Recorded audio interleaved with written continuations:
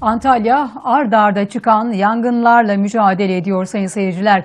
Yüzlerce dönümlük alanın küle döndüğü Aksu ilçesindeki orman yangınının ardından bir yangın haberi de bu sabah turizm cenneti Kemer'den geldi.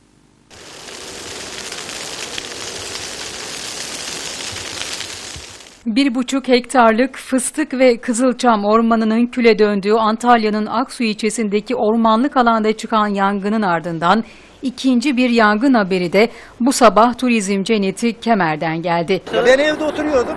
Pencereden gördüm. Muhtar aradım. Muhtar da haberi yokmuş. Hemen itfaiyeyi aradı işte.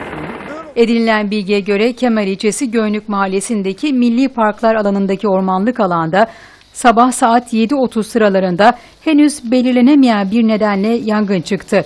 Rüzgarın da etkisiyle kısa sürede büyüyen yangına Antalya Orman Bölge Müdürlüğü'ne ait bir yangın söndürme uçağı ve 5 helikopter, arazözler, itfaiye ekipleri ve orman işçileriyle müdahale edildi. Yangının Antalya Kemer Karayolu'nun her iki yanında etkili olması nedeniyle trafik kontrollü bir şekilde sağlandı.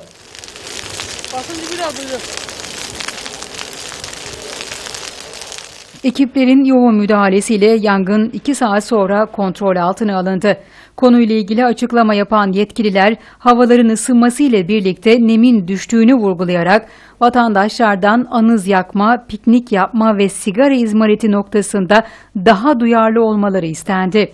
Ben Antalya'dan geliyordum. Aha. Havaalanında bir baktık. Tamam tamam.